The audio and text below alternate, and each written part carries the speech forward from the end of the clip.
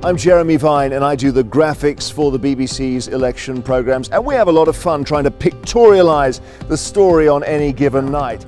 Watch their seats come on, watch them pave the path. And this is how they did it. Firstly and crucially, they held their own marginal seats like Ipswich and Hendon.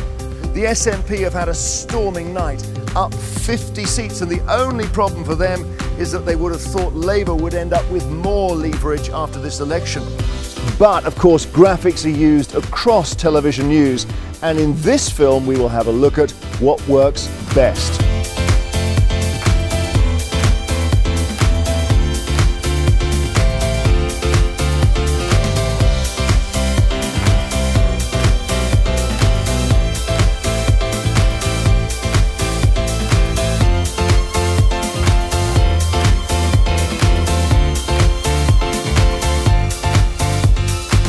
Graphics are used for three main purposes. Either they give information, or they're used to support a narrative, or they could be used for branding a story that you've been following.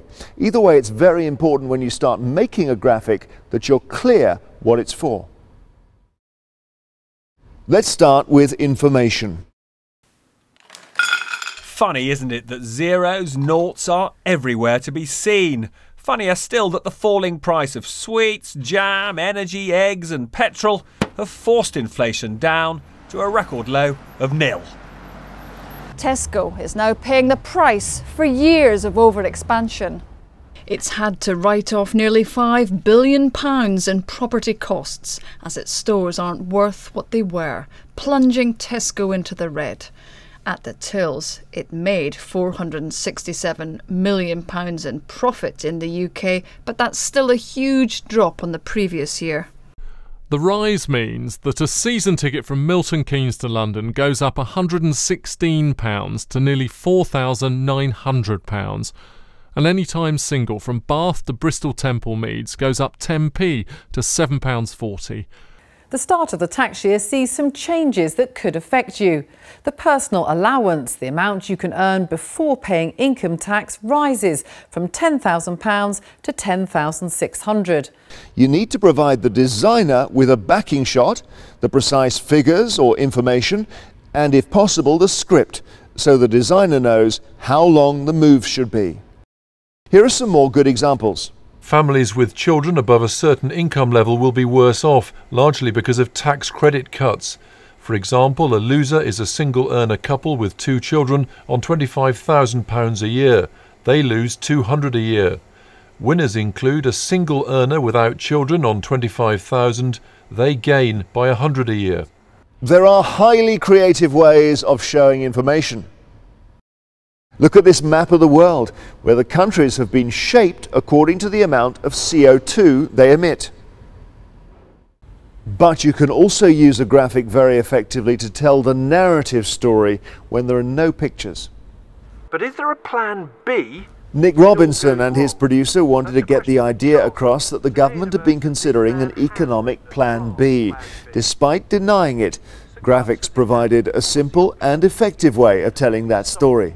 The so called Plan B is said to include further action by the Bank of England, extending so called quantitative easing, or printing money, or making direct loans to businesses. And much more politically sensitive, government action, more infrastructure spending on things like roads and housing, and cutting taxes.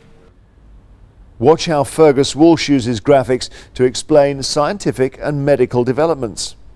About 85,000 heart patients a year in Britain who have fatty deposits in their arteries have permanent metal stents, tubular scaffolds, inserted. They're introduced on a wire and inflated with a balloon, but this stent is made from a cornstarch polymer. It releases chemicals to prevent the artery narrowing, and crucially, over time, it dissolves, leaving the artery able to flex and move. Our genetic code is a chemical alphabet of just four letters A, T, G, and C, repeated six billion times. Our genes are sections of DNA which tell cells how to function and decide things like the colour of our eyes. In everyone's genome, there are millions of minute variations. Most are unimportant, but some lower or increase our risk of getting certain diseases. And David Shukman uses really imaginative graphics to show us what the human eye could never see. Exhaust has become massively cleaner in recent years, except for something you can't see microscopic particulates, as they're called. We've asked our graphics designers to magnify them a hundred times. They'd look something like this.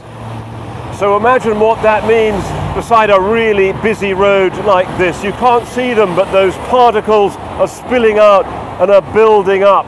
For anyone living close by, the effects can be serious. The latest research into this hidden pollution is alarming. If you are producing one of these graphics, you really do need to work as a team with your designer. Work out what the story is and exactly how you're going to tell it. And the designer may ask you for diagrams, drawings, measurements, and of course the script.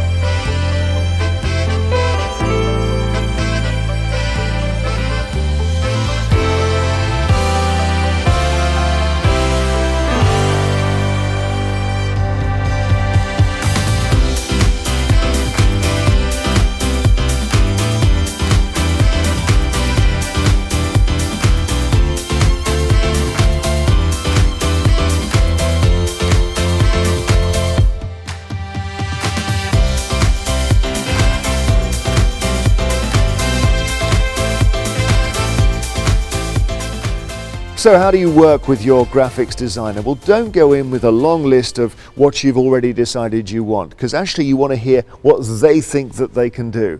Now, I'm not much good at drawing, but sometimes a little sketch of how you see it working on the screen is very useful because the designer can then try and deliver that for you. Good communication between the two of you will really pay off. This is a storyboard. A good producer will provide one of these for a complicated graphic. When 33 miners were trapped underground in Chile for more than two months, this was how Andrew Harding explained their escape route. This is how it should go. After a medical checkup, the first miner will be strapped into the Phoenix escape capsule. He'll then be winched up at no more than a metre a second, a little slower than a normal lift to avoid the risk of decompression. About 15 minutes later, all being well, the miner will reach the surface. He'll be taken straight to a triage area where a doctor and two nurses will assess his condition. Obviously, there weren't any pictures of this, but the graphic showed the viewer very clearly how the miners could be brought to the surface. More than three relatives. When the graphic is complete, make sure you position it in the story very carefully to get maximum impact. And by the way, if you're editing a program or strand, it's worth just thinking about how your graphics are showcased across the whole program or across the hour so you can tell the graphics designers where to prioritize. And finally, don't be afraid to experiment with new ideas or devices because that is how you get the best out of your graphics team.